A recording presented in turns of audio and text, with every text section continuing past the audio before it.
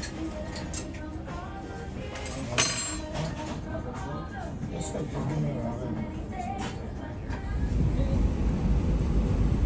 think that's a cruise.